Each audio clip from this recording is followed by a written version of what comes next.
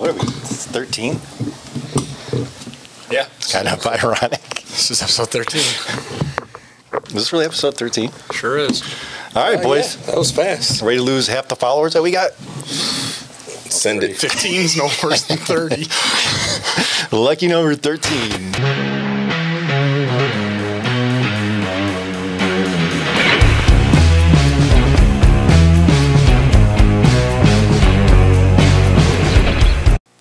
Welcome, everybody, to the Lionz Den, lucky number 13. Uh, again, my name's Eddie. And this is Daryl. I'm Brad. This is Alex. I uh, just want to thank uh, all of our. We had quite a few new followers, a lot of new people checking out the. Um, both actually the podcast and YouTube. Yep. I know you want to give uh, some thanks to Yeah, somebody want to say uh, thank you to uh, Tom Saminsky and Anita Padilla for uh, for sharing that out there. We really appreciate the support and helping us get the word out. Yeah, thank you. Thanks. Please uh, like, update, subscribe. Uh, so today's going to be a little unique mm, topic that um, I've been wanting to talk about forever. So we're 13 episodes in.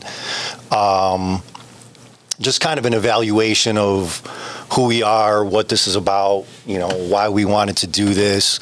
Um, I want to first give an apology to God, my creator, my maker. So, yes, I could say that. Uh, Jesus Christ, my Savior, my Lord. I could also say that. Um, since we started with YouTube, you could kind of see when people are tuning in and tuning out. So, you know, what I've definitely seen is as soon as we start talking about God, people don't want to hear it. Unfortunately, you know they're they're tuning out right away. So over the midst of this it's a lot of effort it's a lot of work to put this out every week. You know we're all putting our hearts and souls into this. You know this has been a lifelong thing for me. I know bringing you guys in connecting with people getting the message out and you know i do sales for a living so naturally i know what sells what doesn't and what I found out pretty quickly is God doesn't sell. So when you start talking about God, people Tune aren't buying, they tune you out. So we've obviously talked about it, you know, kind of skirted around it, kind of interjected into it, um, but we really hasn't haven't gone too deep into it. And that was the whole point of this. You know, this this whole thing was faith based. Um, you know, again, that's our base- baseline. It's not the I only agree. thing we Yep. want to talk about. It's not the only thing we want to go over. But you know, that that's our baseline. That's our foundation. Right. So that ends today. So if we end up with our mothers and wives and few friends with it at the end of this, so be it. Yep. I can't, in good conscience, do it anymore. You know, I feel guilty about it, and feel horrible. Um, it's not the representation of my God. It's been done too much for me. Jesus sacrificed too much to hide behind it because I'm worried about hurting somebody's feelings or God forbid we lose a follower or whatever. So it's going to get real, real today. Um, so today's subject really is why is speaking about faith, religion, God, why has that become so taboo? Um, you know, I was kind of laughing earlier about a celebrity that came out and let everybody know he didn't really date somebody. This is on real news. national. So, Apparently. yep. I mean, I missed Apple News. Actually, it was three times. So we can talk about that. Uh, the Johnny Depp thing. Big what was her name?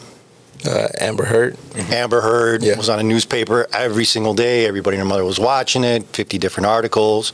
We could talk about that. It's none of our business. Everybody really seemed to be super concerned about that. Meanwhile, we have real shit going on in our world, real shit going on in our country, and God forbid you talk about God. Uh, we were talking a little bit earlier. You know, he's back in the news now because I think uh, probably because Jurassic Park released, and I think he's got another new. Uh, yeah, Jurassic Park and something else. He got two. What's his name?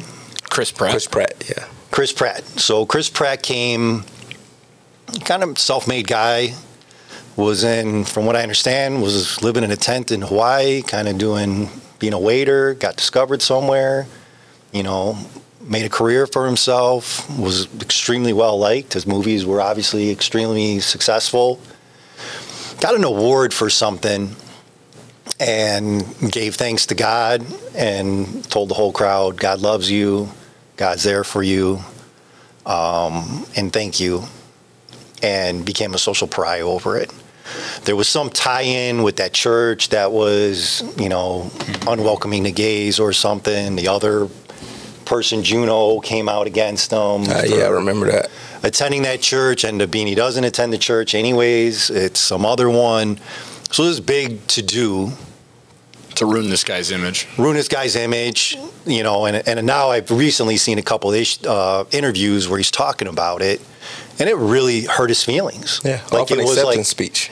off the, I don't know, is it three Chris's, four Chris's, whatever. Right. You know, who do you want to get rid of? And it was him, and it was because he talked about God. Yeah. And seems like a great guy. I Haven't heard anything said bad about him. Everybody that works with him kind of came out in his defense, and and it's like, why are we there in this world? You know, why are we there as a country where you mention God and you become a social pariah? Mm-hmm. And we did kind of talk about this a little bit earlier. Us four in a funny position because, you know, the religious right, we're coming at you, and we're coming at you hard. And those are probably the people that want to listen to this Right. and the outside left, probably ideology might have some things similar in common. Last thing I want to hear about is God. So, you know, our voice is kind of in that middle, and that middle's real quiet. Yeah. yeah. Mm-hmm. So you have the left that's super loud, you have far right super loud, and that middle that's quiet. You know, my concern is, and the whole point of starting this is uh, where is that coming from as far as that? Why is it so taboo to have a sincere conversation about God? And when it first kind of came up, even somebody said, Man, I feel like you were trying to convert me. I'm not trying to convert anybody, We actually said that at the beginning. for sure. Not Yeah. the point. At all. So I believe with all my heart and soul, you're going to find God one way or the other. Be it today, two minutes before you die, whatever, you're going to find your maker. It's not my position, any way, shape, or form, to, you know, have you convert to anything. Uh, I myself have checked out several different philosophies, several different religions. We talked about quite a few of them here. Yeah. The whole point of this is being open to that road, being open to finding that faith. I mean, that's why we're here. Mm-hmm. So, what do you kind of think about all that, Daryl? So with the like separation of like talking about faith and God in uh, open forum or an open sentence, the way I've noticed that that's like started is with the separation of um, uh, faith and, uh, and all other things. So if you look at any kind of uh, industry, uh, faith and religion is separate. So like we both wrote a book. You have strictly uh, faith-based publishers. So if you submit to a traditional book house or to a literary agent, once they read your material, and if it's faith faith based, they start targeting those houses to publish your book because it's a consensus that the general public doesn't want to read that or doesn't want to hear it or doesn't want to discuss it. And that goes the same thing with movies. Um, any product that you that you look at, once you start getting that line of faith or God or anything that's religion, whatever you want, whichever one out of those you want to put it at, you start to notice that man decided at some point that it needs its own separate category. You know, because maybe that's because I, I don't want to offend somebody that's not of that faith, mm-hmm. or I don't know. You'll have people who'll say that's because they want to target it best, so that it can reach the you know people who are interested in. Right. But I don't think it should be limited like that. And um, when I, when you were talking, that's what I was thinking about. I was like, man, everything that you look at with faith, because I watch a lot of movies, and then you have like like it's a faith uh, religious faith based movie channel. I can't think of it right now, um, but it's just like HBO, but it's all religious movies and everything like that. And um, but why couldn't they be on Netflix? Right. You know, why do they have to be on their own? Right. You know, um, Why does there have to be any separation? yeah, that movie that I that I told you about that like pissed me off a couple months ago in the winter. Oh yeah, yeah, yeah. And it yeah. was a book. It was this was apparently a super popular book. yeah, the western. Yeah, I Yeah, read a lot of books and I watch a lot of movies, and I had never heard of it. And was coming to theaters. I was like, "What is this? Why is this such a big to do to certain people?" So after I watched the movie, which I did not enjoy, but I started like, well, maybe I'll enjoy the book, and I looked up the book. It had a huge following, but you can only find out about the book or get the book from uh, these uh, Christian bookstores, ChristianBookstore.com. And then when you look on there, it sold millions of copies. Wow. And here I am, a person that is on Audible, who goes to Barnes and Noble, goes to the library, reads books, listens to books, and I knew absolutely nothing about it. So that separation uh, is what made, uh, to me, in all those aspects, made it very, very taboo in the mainstream of things. I think for me, you know, I, I kind of said it earlier when we were talking that, you know, with this podcast, it was was about bringing faith to light for people, um, the way I understand faith and the way it's helped me in my life. And like we said, there's all different paths of religion that you could take and follow, and that can greatly benefit you. Um, and that's what this is about is getting the word out there and it's interesting that you bring up that separation of you know between the, the books or businesses or you know and there were a lot of people when we started doing this that kind of came forward and were like you know i don't really know a lot about religion.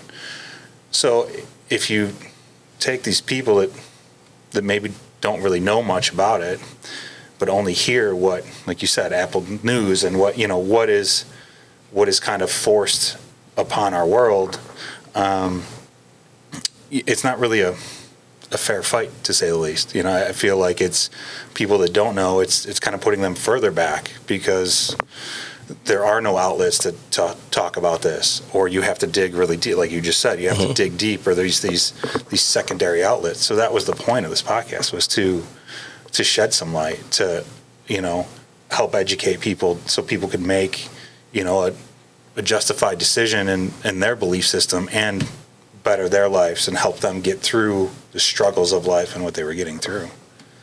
Yeah, I mean, you couldn't be more right. I mean, it's 100% on point. Um, you know, the big concern was any conversation about faith, about God, how is that being represented? Right. Two weeks ago, Texas, there was a pastor that I read about that in his sermon, anyone who's homosexual should be shot in the back of the head. So this isn't a layperson, this isn't two people talking in a church. This is the pastor saying that nonsense. So my concern is somebody who hasn't really found that direction, hasn't really found a faith, is curious about it, wanting to find something, is in that search, and that comes across, you know, is that person like, oh my God, I really want to dig deeper into this. This sounds like something that I'm interested. Um, more concerning is that pastor's an idiot. You're an ass, Yeah. whoever the hell you are. Without question. You don't know what the hell you're talking about. Not only is that blasphemy, it's heresy. Nothing like that ever came out of Jesus's. So, you know, what is so important for somebody who isn't of faith to understand is we as Christians follow the word of Christ, hence Christianity. So that's New Testament.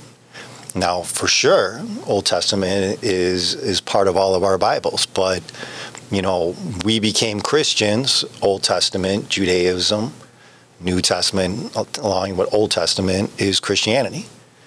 So you've read the New Testament, I don't even know how many dozens of times.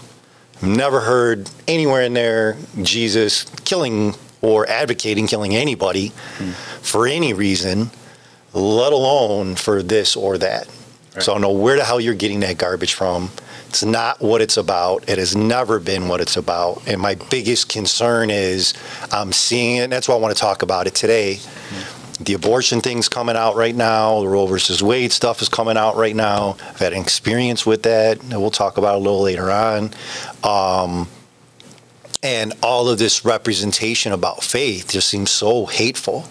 And there is absolutely nothing hateful about God. And there is definitely nothing hateful about Jesus. So I don't even know where that comes from. I do. You know, I, I, I it's um, just kind of lost. You know, and I, and I get it. I get ticked talking about those people, so I could get why they get ticked. You know, on the other mm-hmm. side.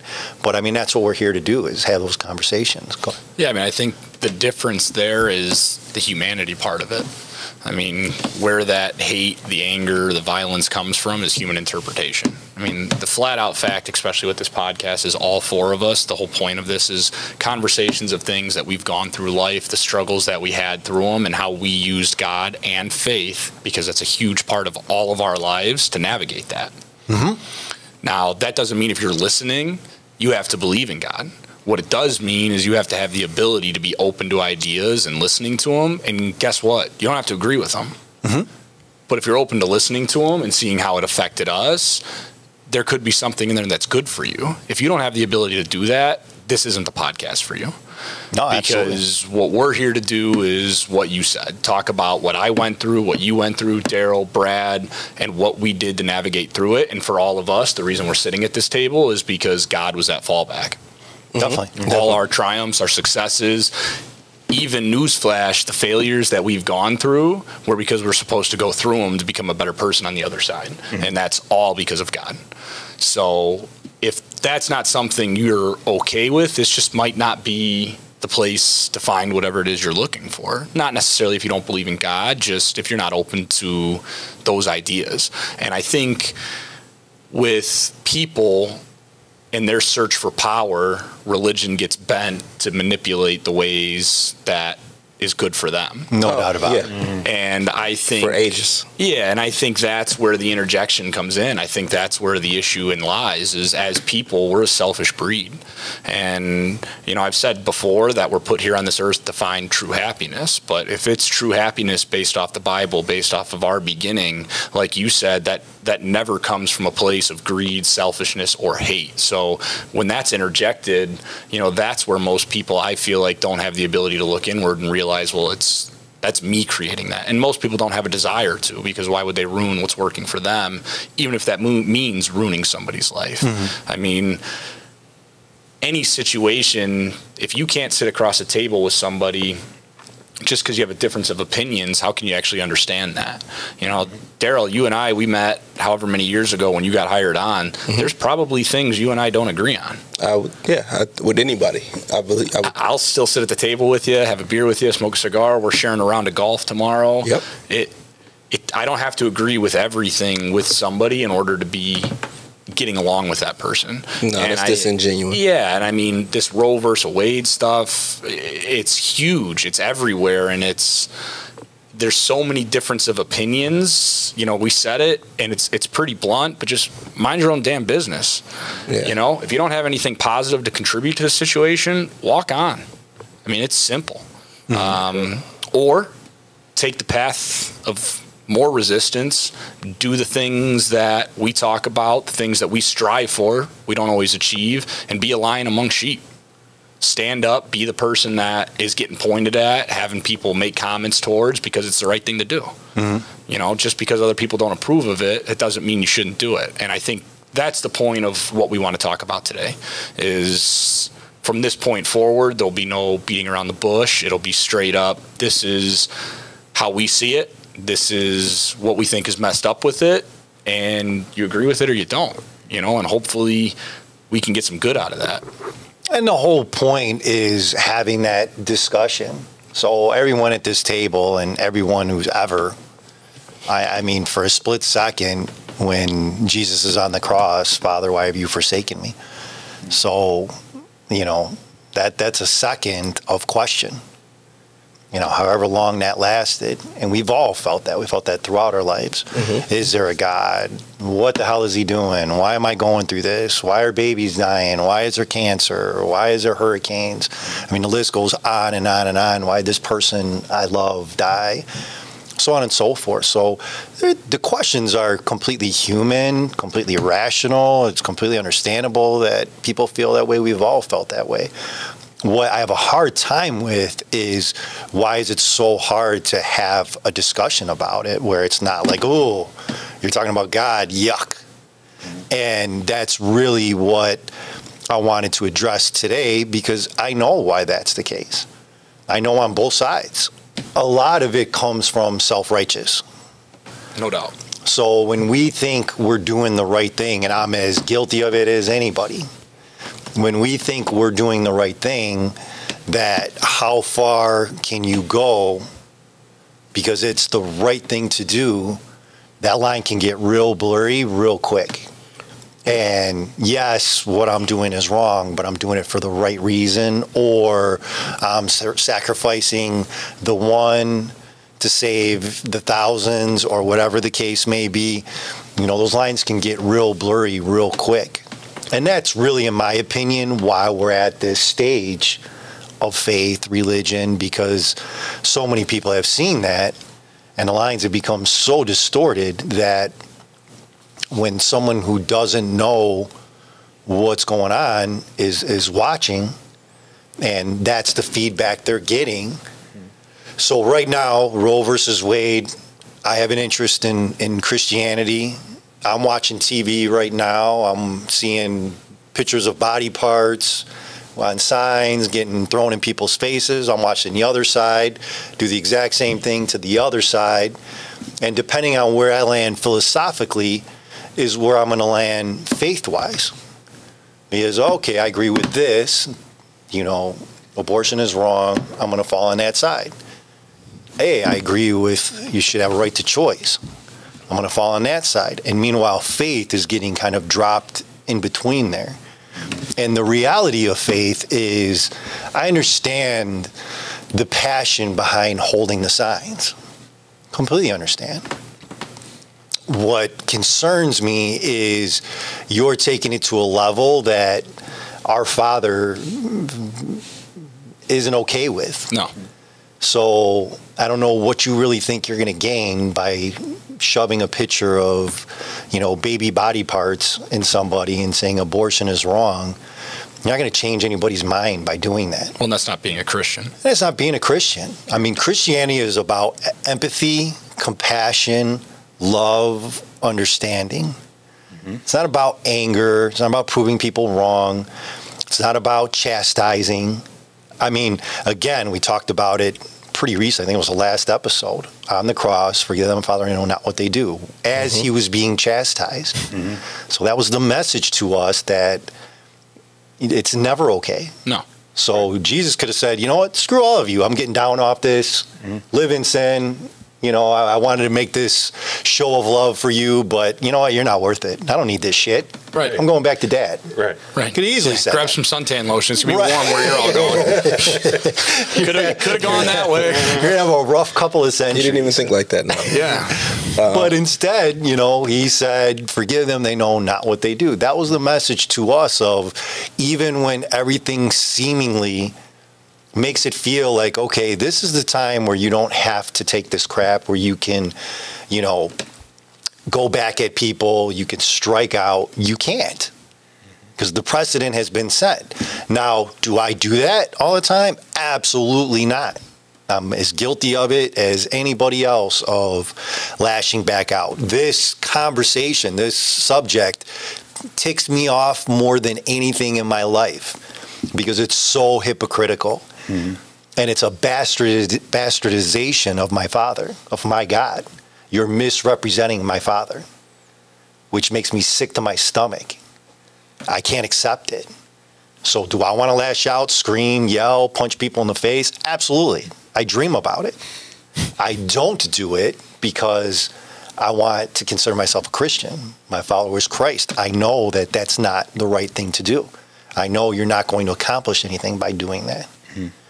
So my my mistakes I can accept as my own. I don't blame it on God. I don't blame it on Jesus. Well, it was okay because it was here or there, or this was written, you know, whenever. And so, you know, I have every right to do that. It's, you're kidding yourself. You know, that's not the reality of what the message is. Um, and for me, you know, again, when people are seeing that over and over and over again, and it's really come to a hilt, especially the last five, six, eight, eh, seven, eight years, mm-hmm. you know, where it's just like frothing right, over, yeah. where you know, there's just so much aggressiveness with that and so much misinterpretation that I get why people are turning this podcast off. You know, I don't want to hear about God. I see what those people that believe in God, mm-hmm. what they do and where mm-hmm. they're coming from. I don't want no part of it. You know, I don't know what you guys think about that. Uh, to go back to uh, righteousness, where you were talking, I, I, mean, I'm like a sometimes I'm a word Nazi in my own usage, and um, so when we're talking about righteousness, I revisited the definition of righteousness, and it is what the same definition that I thought it was, and um, it's pretty much just a, a, a moral construct to determine whether what you're doing is is is right, is mm-hmm. justifiable, ethical. morally ethical, and I believe from my experiences, and not just local, this is across the world. I've had experiences with uh, righteousness being a manipulation tool. Mm-hmm. Because if you can get somebody to do something that is questionable and you can dress it up uh, to be uh, morally um, correct in uh, um, whatever cause, then they're more, more likely to do it. So, like you had like righteous beheadings, righteous suicide bombers in uh, the Middle East, where I spent time at, and they used that so that you could either the person doing it or the family that supported it could feel like they were doing it because it supported the the cause, the true mm-hmm. cause. And uh, we had this thing talking about when you go against a true believer, because I was a professional soldier. So here in the, in the United States, you don't have like true believer soldiers. You just have kids who signed up to go do whatever they go do. They needed college money. They need to get out of that situation. There's very little people who uh, excuse me, there's very little people who like signed up because they really, really believed in whatever the mission is at the time. Um, but when you go over, the type of people that you are engaging are true believers because a lot of those uh, people were defending their homes, their countries, and um, their lands and areas, and they'd use faith to justify it and mm-hmm. make it righteous. You know, how do you get somebody to donate somebody in their family to wear a suicide vest. You make them feel that it's righteous, and then you use two types of comp- uh, compensation. You use a morally a moral compensation, and then you use some kind of financial compensation. So whenever I see somebody say something and they base it out of righteousness, I automatically think that there might be some haze to whatever it is they're supporting, whatever they're doing. Because the people holding those signs up and supporting whatever it is they support, if they're going against Roe versus Wade, if they're for Roe versus Wade, they hold those signs up, they feel righteous in what they're doing. They're using whatever they wrote on there because don't nobody write pleasant messages on signs. Mm-hmm. We just talked about that. Mm-hmm. It's like an, it's a it's a cheap way to be aggressive. It's, it's passive aggressive. It's like sending a text. Yeah, yeah. You know, keyboard you know, warrior. They sit there and they write and they read it and they're like, yeah, you know, that's that's, yeah. that's going to affect people. Right. Stuff that they would never say to somebody, you know, face to face, and then they use that righteousness, the the feeling of being righteous because other people are right there creating signs, and they use that group so now they feel they feel strong in their masses, and they go out and they do that. Yeah, we're saving babies. Yeah, we're saving unborn life. Yeah.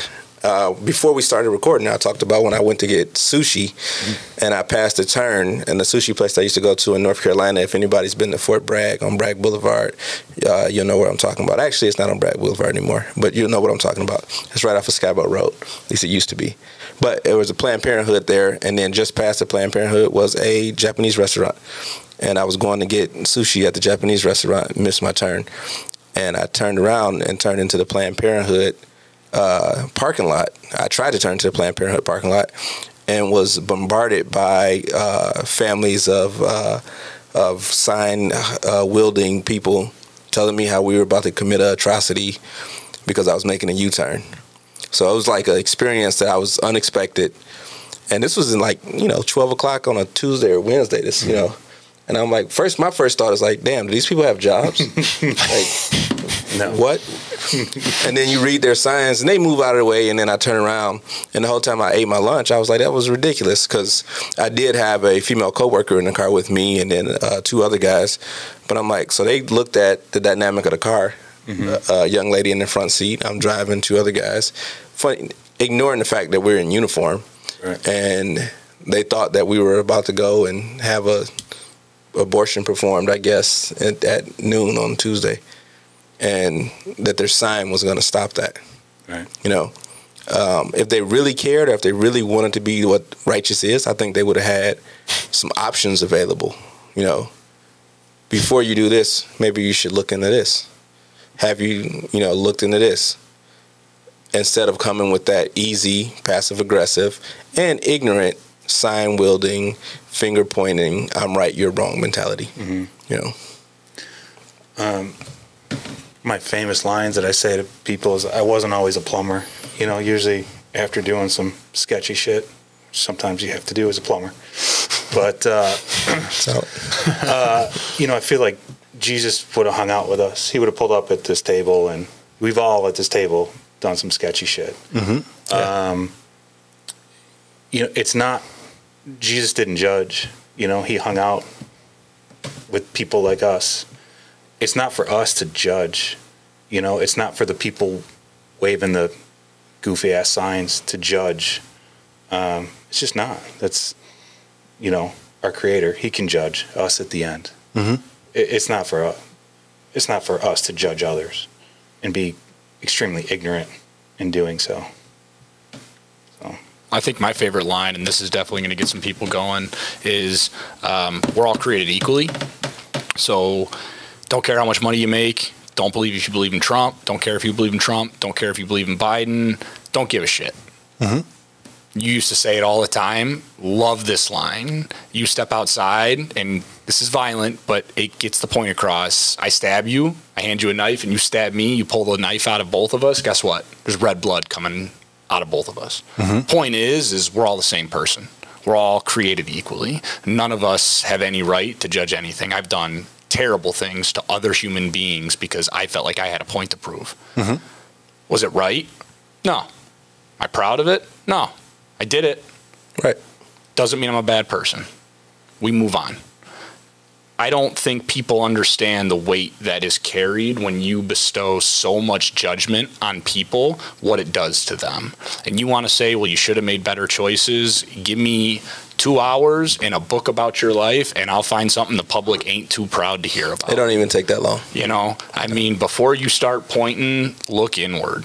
People make decisions that aren't good ones every single day. You do. You do. You do. I damn sure do. Mm-hmm. And I know better. And I still do it. You know why? Because I'm human. I mm-hmm. sure as shit don't want to be judged on it. And I don't think people realize that it's like I said, not up not up to us to do so. You know, I mean, a Christian, the right thing to do is show support.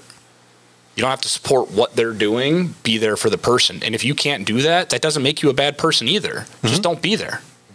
Whether it be at a Planned Parenthood, you mm-hmm. don't have to agree with it. Mm-hmm.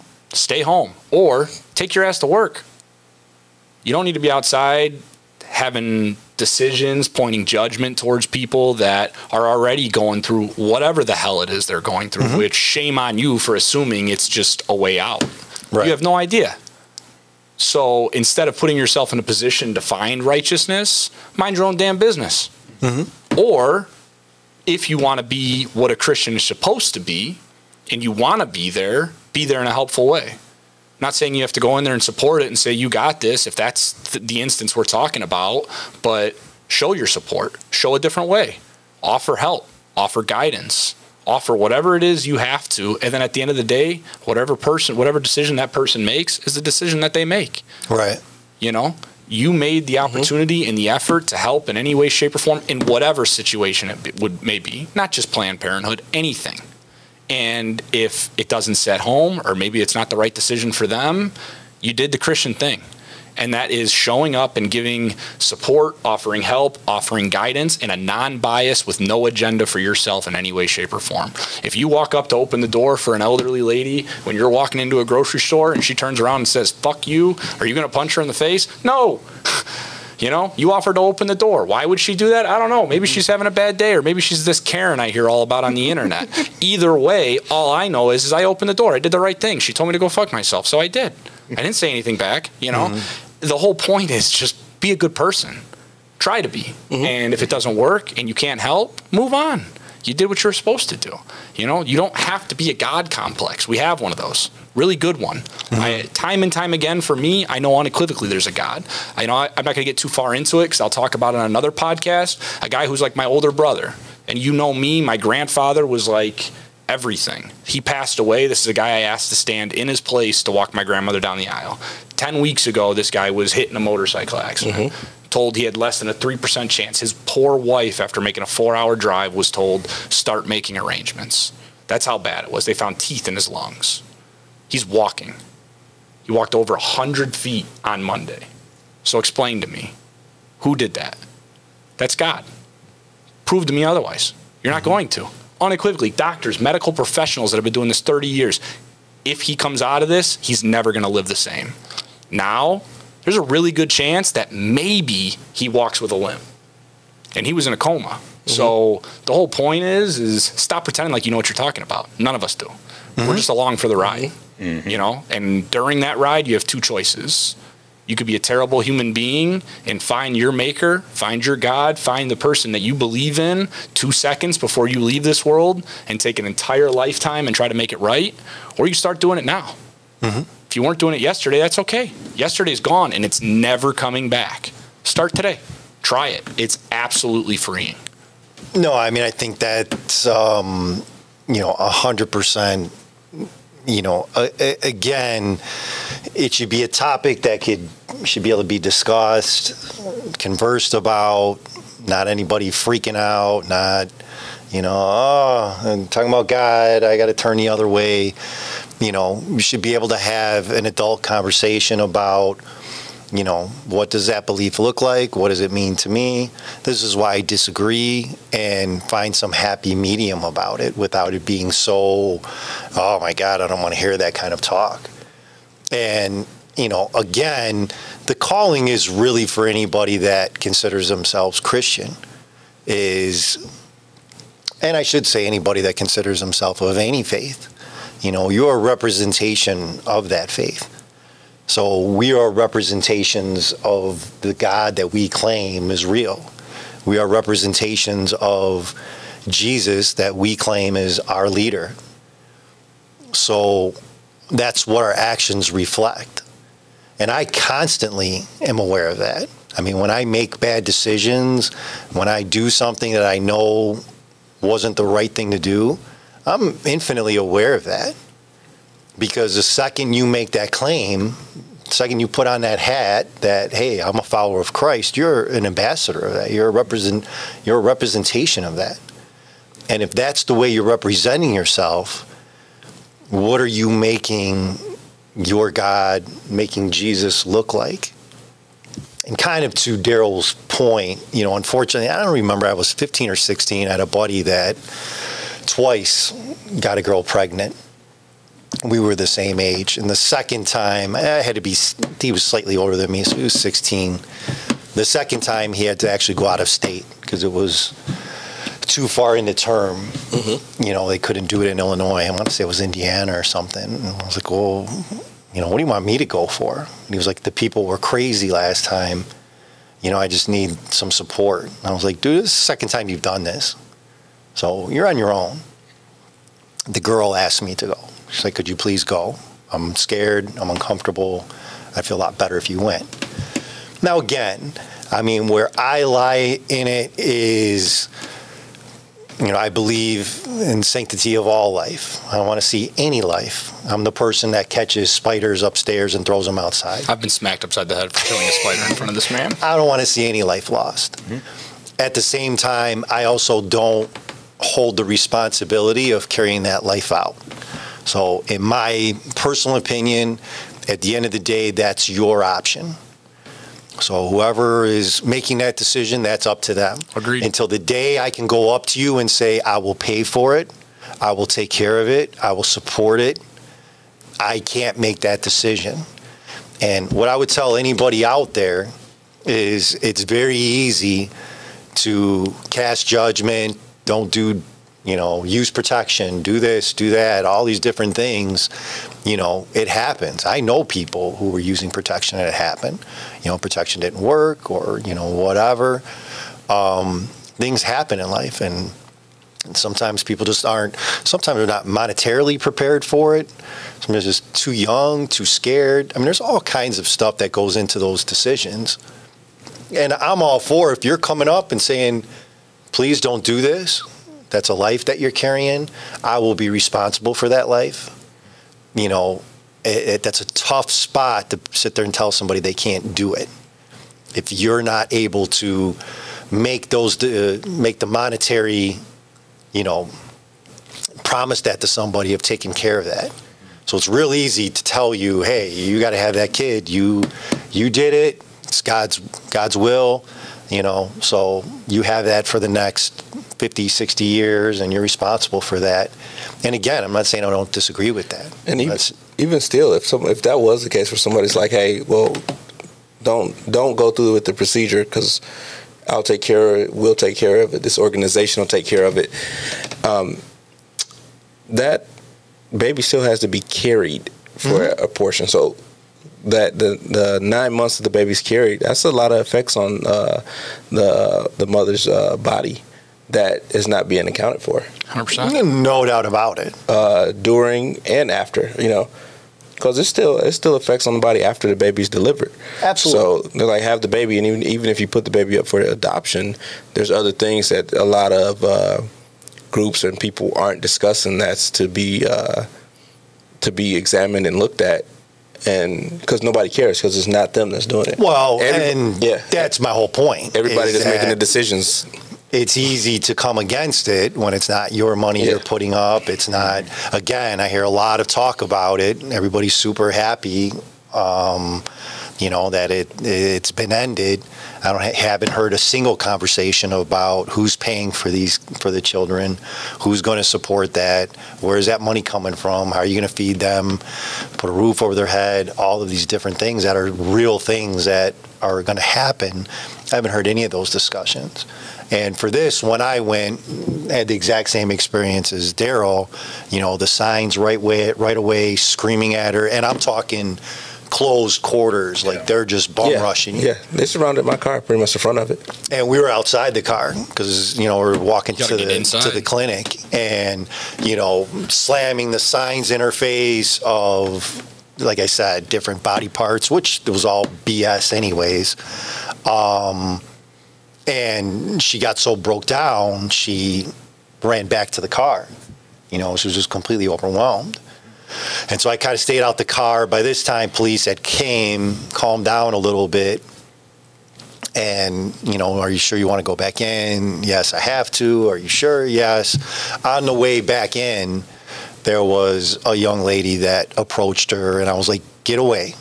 Enough's enough you know, leave the poor girl alone. She's going through enough. And she said, no, no, no, please, if I could just a second of your time. She handed her a pamphlet, and it was kind of to what we were just talking about.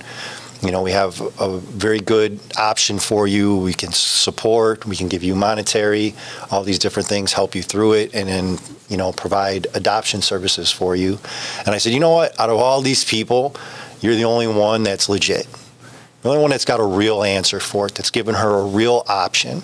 And I do wholeheartedly believe if that law was to stay intact and it stayed constitutional, that there definitely needs to be a better educational system of it, of what exactly are you aborting, what exactly does it look like, what exactly are your options versus, and I haven't been through the process, maybe it is more entailed than it seems, but the point being, that's the Christian way. The, the lady on the very last ditch, these are some options for you. Can I please discuss them with you? You know, she wasn't berating her, she wasn't judging her. She was very kind, very warm, very sweet about it. You know, that's what Christianity is about. It's it's coming from a place of love, empathy, kindness, understanding. Now that girl was just as principled as the one slamming the signs in her face but she was also the one that understood that you're not going to affect anything that way. And let's say, and I'm sure they have. I mean, she almost left. Mm-hmm. You know, you scare them so much or you guilt ridden them so much. You know, it's not going to change them from coming back the next day, a week later, or, you know, whatever that may be. But that's where we as Christians need to be is that next level of that leadership of and that's what we'll be talking about in the next podcast, you know, as Alex said, being a lion among the sheep. And what I'm fearful of is how often is that represented? You know, if that poor guy in Guardians of the Galaxy just makes a very simple comment of where his heart's at and gets, you know, buried over it, why is that so taboo? Why do we have such a hard time talking about this without becoming, you know, a social pariah over it? You know, again, not telling you you have to believe in God, not telling you you have to be a Christian, not telling you you have to be a follower of Christ, not telling you you have to be a Buddhist, Muslim, um, practice Judaism. You know, all our whole point of all of this has always been for us, that's what's got us through the stuff that we've been through. That's become our baseline. That's become our faith, you know, and that's become now our belief. Right.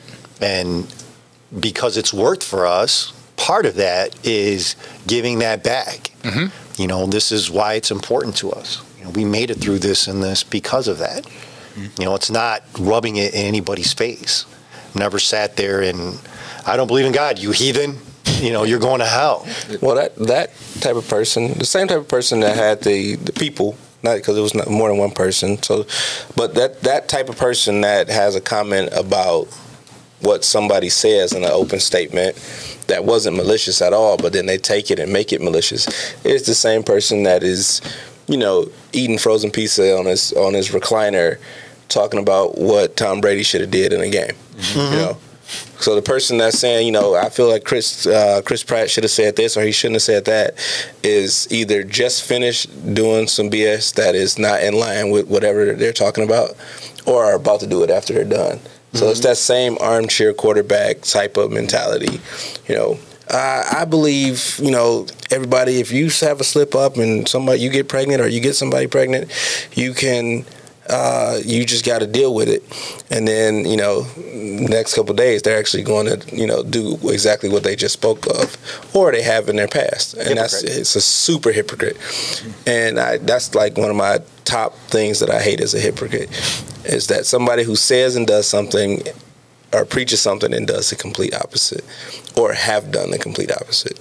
And it goes against like being a good person. Yeah. you know i can't in good faith and in honesty tell anybody to do or not do something that i took advantage of when i you know now i can say i don't recommend it because i did that and this was my experience you know but i can't be like no you can't do that Right. you know because i did it it worked for me yeah but no you can't do that Right. you know, we talked about that at work, and I was just, I don't understand that mentality on how you can do something, take advantage of whatever it is, Yeah. tax cuts, um, uh, abortions. I've never had an abortion with uh, anybody, a, a, a girl that I was with. Closest thing I had to that was a morning after pill, and um, that was you know up to her. If she would have been like, "Yeah, I'm not taking that," I'd have been like, "Well, okay, let's see if this is refundable because I'd like that money back," and, that would have been the end of it. Yeah. Like, just, you know, Absolutely. and I don't know. It's just because who am I to say, yeah, no, you have to take this, whatever. I can't. Who am I to say you have to get an abortion or you you can't get abortion? It doesn't have anything to do with me. I'm still gonna go to the gym and work out and, ride my bike and do all the stuff I want to do with my body. And I'm telling you what you can or cannot do with yours as an adult. That's, it doesn't make sense to me. But I do want people to like think it, about what you say because if you say something and you know it's against what you've already done, I don't understand how you can do it. How- Like, how can you justify being a hypocrite? I don't. It's foreign to me. self-righteous. Yeah. I mean, Yeah, it all righteousness, comes yeah, down yeah. to you. Yeah. You learned your lesson. You went through it. Might have been a horrible experience, Yeah. and you know, a lot of times self-righteousness comes from a sincere spot. Like I said, I'm as guilty of it as anybody. So you're you're so passionate about don't make the mistake I made that you want to take away that option because oh look at I did it and I screwed up. But to your point, the key with that is I did do it. This is what I learned from it. This is why I feel like it's a mistake. You know, share your story by all means. You know, again, well, we know this far into civilization that taking away options doesn't stop anything. It all comes down to educating, discussing, you know, our podcasts are 55 minutes, an hour. You know, again, we see statistics. You know, people are tuned out after 15 minutes, yet we're still here 55 minutes, 58 minutes in. Yeah. Because if you really spend the time in this and listen to it all the way through, it's basically how you work through a problem. Right. You kind of start with, hey, this is the problem. Today, mm-hmm. this discussion was about why is talking about God so taboo? And we're kind of working through that. That's why it takes 55 minutes, an hour, Right. an hour and five minutes. It's not a simple solution thing Yeah. Yeah. you know, but we're so addicted to that quick fix. And kind of to Daryl's point, you know, let's make it illegal. Make people, people are going to be more responsible because it's not an option anymore. So people are going to make better decisions, and they're not. We've No. been there and done that before. It's like gun control. They're not. No. Same type of thing. And even something like gun control, you know, what what I find amusing about this is the very people that are advocating, it's not amusing, it's sad. The very people that are advocating making that illegal are the very people that are also going to advocate that I want an AR that can hold 150 bullets, that children are dying. They're getting shot in the face. These kids were shot in the face. Hmm. And so screw that kid because you want to play G.I. Joe, but yet the other is just as horrible. And that's kind of, again, not judging anybody who makes those decisions. My point is at some point you got to stop and really evaluate that. Yeah. That if you stand for life, then you got to stand for life. Hmm. You know, if you, we've talked about, I don't know, we grazed Black Lives Matter in the back, you know, in the past. If, if you're going to stand for something, you got to stand for it. Well, that's the whole thing. If you're going to believe in it, Yeah. you got to believe in it. Mm-hmm. So if you're going to tell me Black Lives Matter, I'm with you. All the power to you. I'll stand with you. Let's go to Englewood. Mm-hmm. Let's go on to some south side. Let's go to the west side. Let's start standing in front of those neighborhoods and saying we're not accepting this anymore. Can't be just every time a kid gets shot by a white cop that Black Lives Matter because they're dying every day in the streets. Yep. Yeah, and that's that that's that real um, surface level stuff, and that that goes back to what you started with. We as a society like surface level, easy to digest um, information and actions. So that's why our, our news has changed the way we get news. Now we just get these little blips on our phone or Mm-hmm. our, our laptops or whatever, all the devices that we have. Even the way that news is delivered on TV is different. Like it's shorter now, it's very quick, you know, and they like to give all the answers as the story is developing Right. you know, and we don't have time or patience to to get the whole story because to get the whole story or to do whatever the complete action is to support whatever change we're trying to support. Right. Because everybody's too busy. Right. You know. Mm-hmm. They all tune out after two minutes. Yeah, Yep. yeah. They get all it circles all right back in. Mm-hmm. Let's, oh, you know what? I, I like these guys. Let me see what they're talking about. Yeah, we're talking to like four people right yeah, now, by the way. Yeah. Let's talk to them. Yeah. Power to those four people. like, oh, Thank you for hanging in there, Yeah. Mom. Yeah, they're, yeah, they've checked out. This is all family members, friends. Thank you guys for still listening, because everybody else had like TV shows to watch, you know. But and I, you know, I'm not. That doesn't make me mad, but we do have an attention span uh, issue in society now, and it goes across the board. If you support anything black lives matter if you support our show if you you just want to be able to say i support that the, uh, devote you know between one to four minutes to it and then move on to the next thing that you want to watch support or interact with and um, i think we got to slow it down and if you support something do you know do the work do the hard work and make that support real you know Definitely. Yeah. You tell somebody, hey, I'm there for you no matter what happens. When they're at their worst, show up. yeah Yep. that's hard for people to do Don't they just won't send a text saying, hey, hope you feel better or hope that things get better. Show up. Yeah. And what what is that? Like hope I hope you feel better. It's like, yeah, man, damn, I hope he feels better. Yeah. Shit, what you want to do? What you about to do? Right. Yeah. And it's not admirable to show up, just so everybody knows. You know, Yeah. if, if you show up, that's not like, that doesn't make you a better person. Right, Yeah. get a pat on the back. Yeah. Show up because you could. Like, if I tell you, if the words come out of my mouth, hey, bro, I got you. Anything you need, I'm there. Yeah. I'm going to be there. When you need me, I'm going to show up. I'm going to help you. I'm physically going to be there. Yep. And I don't want praise for it. Mm-hmm. That's what you should do. If you're a friend of mine, that's what I expect. Yep. You know, if one day I'm laying in a hospital bed, you guys, well, I hear it all the time. Hey, bro, I got you. That you should. I'll see you there. Well, and that's kind of the whole point that if you're claiming to be a Christian, you're claiming to be of some kind of faith, you you got to be that you got to be that rock. I mean, you got to be that Peter. You can't just like we were just talking about Black Lives Matter. Man, I it makes me as sick seeing the videos as anybody else. And like I said, you want to march right down Englewood right now, be the first in line. I've done it. But to sit there and get in a perfectly, you know, a, an officer that you've never met in your life, telling him how big of a piece of shit he is, and you ain't worth shit, and you beat people up.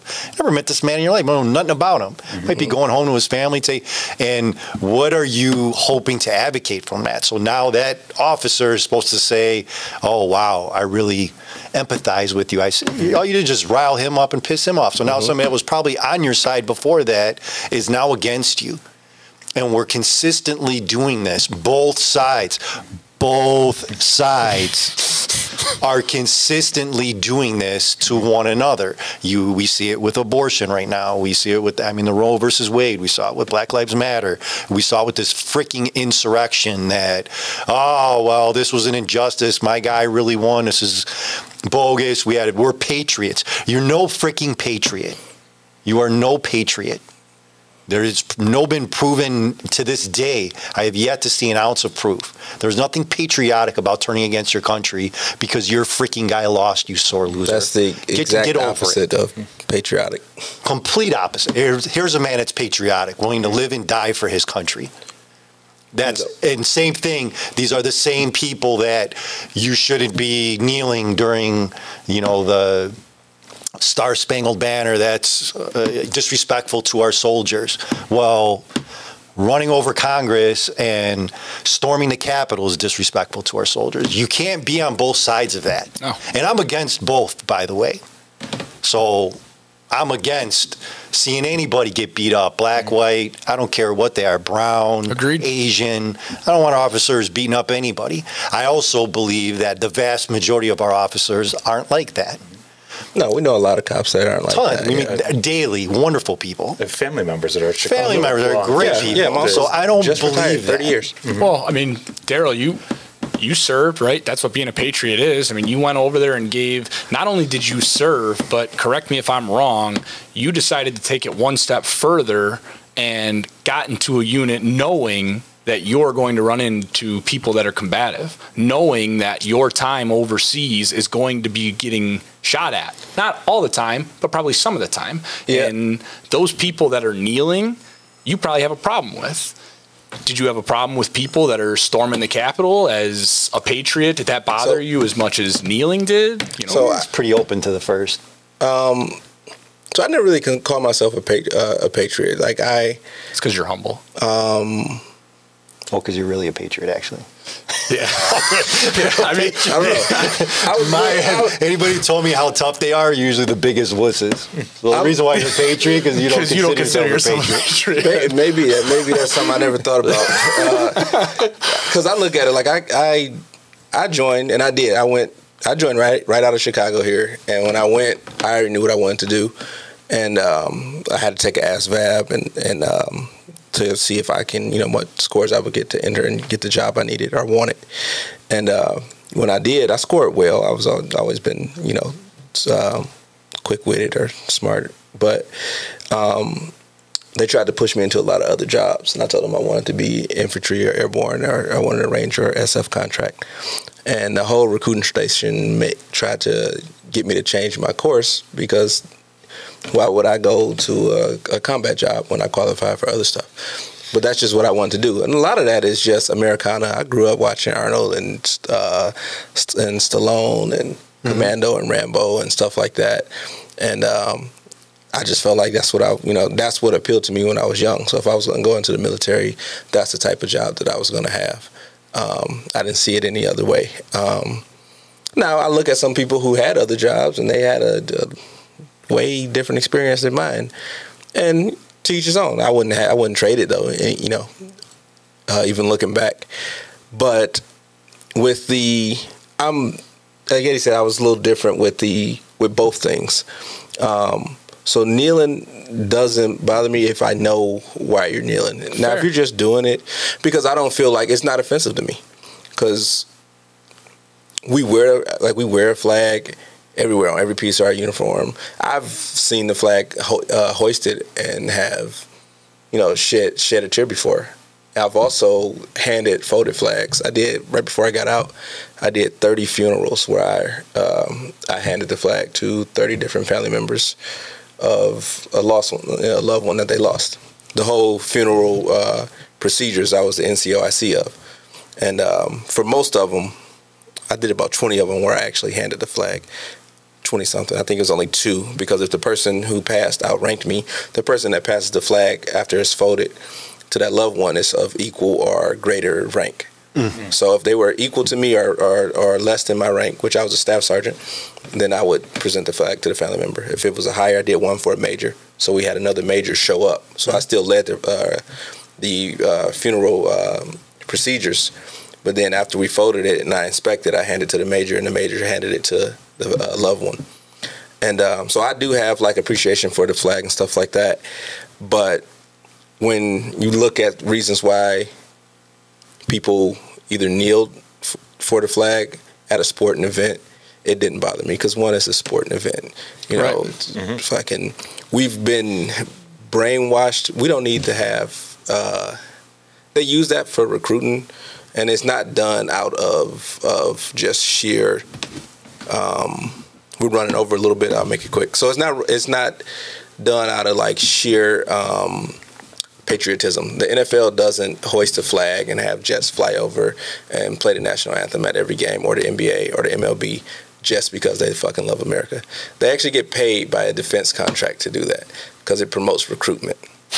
So, and this is researchable. Boom. if so this might drop, like, I would bomb. drop it. Everybody's like, oh my God, every game, you know, you know, they play Star Spangled Banner. It's because they're getting fucking paid to do so. All right. There's no ifs, ands, or buts about it. You can research it. And then when the Jets fly over at the Super Bowl, look at the commercials that come on on those games. There are recruitment commercials for whatever branch. Mm. All right. They had the defense has a budget that they promote all those events. So, because look how many people you're hitting. You're getting all the people in the stadium, all the people at the field, mm. all the people watching nationally. So why wouldn't you use it as a recruitment tool? Right. You know. Um, and so it's it's it's doesn't bother me because I'm like the fucking army paid for that. Mm-hmm. You know, the navy paid for that. Who you know who cares?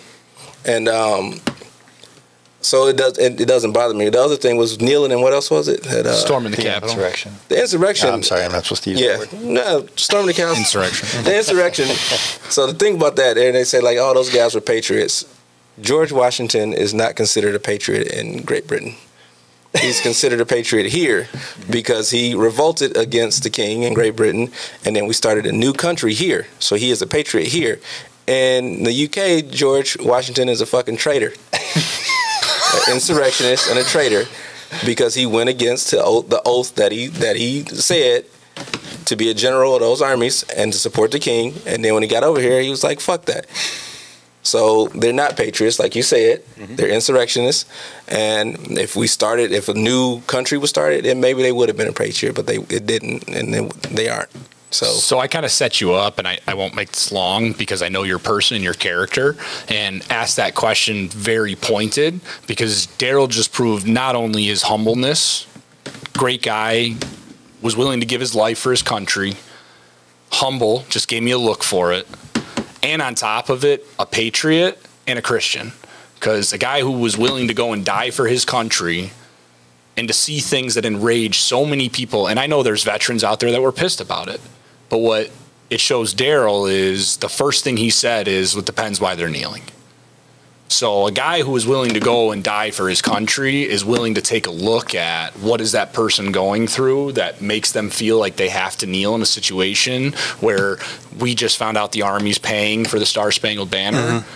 is because Daryl's a Christian. He's willing to take that step back. He's an empathetic human being that, even though was very probably very good at what he did, which was a very violent job, is empathetic enough to look at a human being and recognize that there might be a reason that they're doing that. And even on the flip side of the coin, is able to look at something like that and give you a completely different perspective. So I didn't mean to set you up, bro, but trust No, you as character, trust you as a human being that you know those true colors were going to show. Yeah, Brad? I think that covers. I can't follow that. Well, you know, I mean, my big thing at the end of the day with, with all of this discussion is, you know, be real. Mm-hmm. Be honest. Be, you know, it's easy to storm the Capitol when it's a bunch of you against, you know, much smaller forces that you know at the end of the day really aren't going to do shit. So when that girl got popped, it dispersed very quickly. Mm-hmm. And the reality is, had it gone down that way, none of that would have happened. Right. But they didn't make that decision. Same thing with the, if you're on the front of the line of Black Lives Matter, telling any officer how big of an ass he is and how big of a piece of shit he is and all this crap because you're right in the middle of a video camera and you know damn well nobody's doing anything. The reason why your ass isn't in Englewood because you'll get your head cracked open. Mm-hmm. Get in their faces and pull that shit with no Yeah. cameras. You might not be going home. Yeah, because those those